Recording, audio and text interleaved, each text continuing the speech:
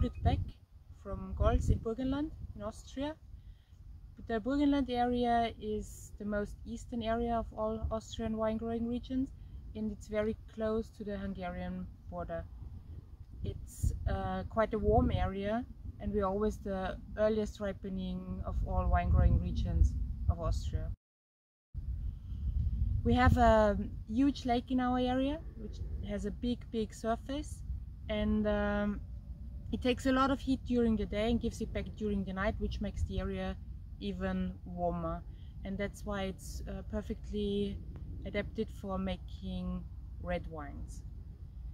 We have uh, many different soils in the area. You can see that we are on a, on a slope here now in this vineyard and uh, along the, the slope, along the gentle hill that we have uh, are all our best vineyard sites. That's where we plant most of the red wines and especially the Blaufränkisch. Blaufränkisch is one of our red grapes and it needs the warmest vineyard sites and the best soils that we have. Then we have a gravelly plateau on top of the hill. Um, we have reddish gravel there and soils with a very good drainage. That's why we plant all the grapes that are, that are a bit more sensitive to botrytis up there because uh, the soil has a good drainage and uh, it's more windy up there and that's why it gets dry quickly after rainfalls. And then we have the plain land near the lake where the soils are a bit more fertile and there we, we plant Zweigelt and um, uh, many of the white grape varieties.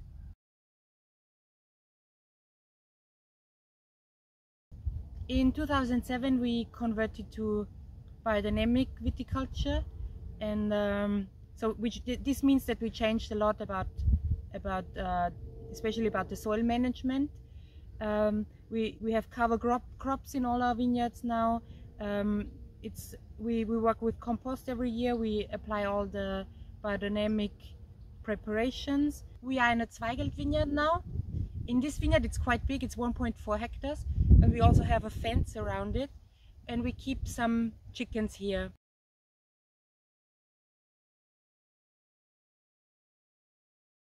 The chickens add to the biodiversity. They help us control the insects in the vineyards and they also give us wonderful vineyard eggs.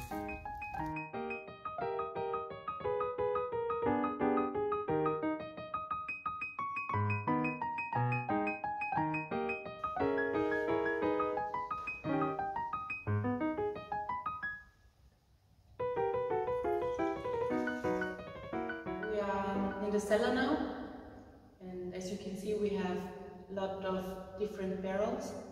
It's very important to me that the wines can age in barrels for a couple of months.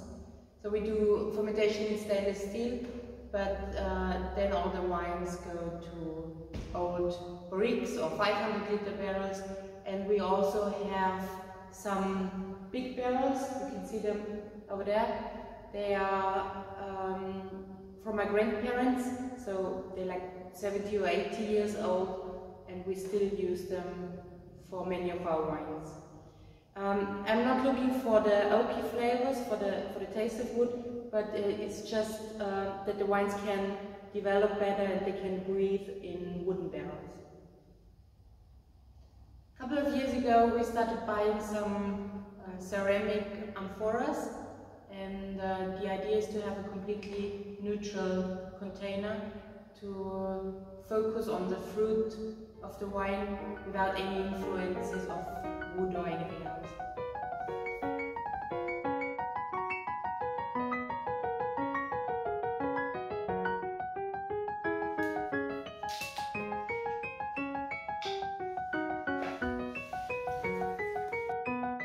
Talk about the wines a little bit. The first one I'd like to show you is uh, Weißburgunder from the 2019 vintage. Weißburgunder is a grape that's that has quite a long tradition in our area. It's quite important for us, and I think it's it's perfectly adapted to our soils and our climate. All of our wines are, or all of our grapes are hand-picked, and uh, the Weißburgunder arrives at the cellar, and then it's pressed directly, and the, then we move the grape juice to old wooden barrels. So most of the time we use the old ones from my grandparents for the Weißburgunder and then the fermentation starts spontaneously so we don't inoculate, we just wait until the fermentation starts. Um, and um, after the fermentation the wine just stays in the barrels until we decide to bottle it. That's about six months on the entire lees. Yeah, so I think it has a very typical Weißburgunder fruit and, and it's, um, it's a very versatile food companion.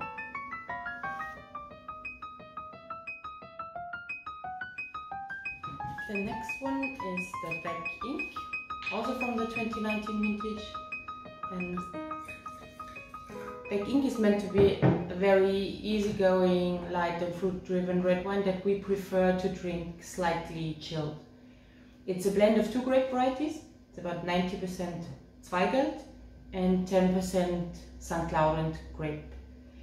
The Zweigelt is uh, a grape with a lot of fruit character and uh, St. Laurent is quite special. It's related to Pinot Noir and, and it has a lot of spicy flavors and I think the, the combination of both is just, the wine just gets an extra kick with the St. Laurent. It adds a lot to the uh, aroma profile of the blend. We do fermentation in stainless steel and then the wine is aged in old, in small oak barrels but old ones and we keep it there for 8 to 10 months.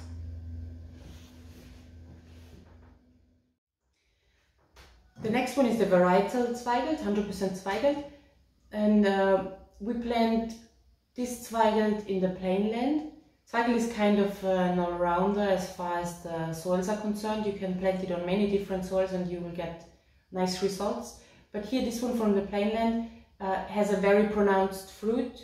With the Zweigelt you most, mostly get cherry flavors and it, it's quite soft and has smooth tannins.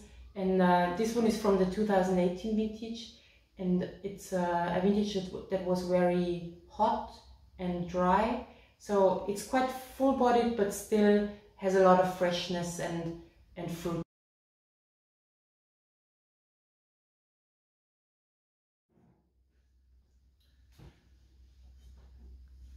And finally we get to the Blaufränkisch. Blaufränkisch is a very old and traditional grape variety that is planted in Austria but also a bit in Hungary and uh, the Czech Republic. And uh, it's a grape that has very nice tannins. It has uh, it's it's quite uh, complex and it shows a lot of where it is growing. So you can get very different results on on different soils. Um, in our area, we plant it only on the on the hills because that's the warmest and uh, best vineyard sites that we have. And Blaufränkisch is the latest ripening grapes, and that's why it needs the warmest vineyard sites that we got. It's all southwest exposed slopes. So um, this Blaufränkisch is uh, still quite fruit driven. It, it has a lot of uh, blackberry flavors and uh, we do fermentation in a wooden fermenter and then it's aged in old oak barrels for about 10 to 12 months.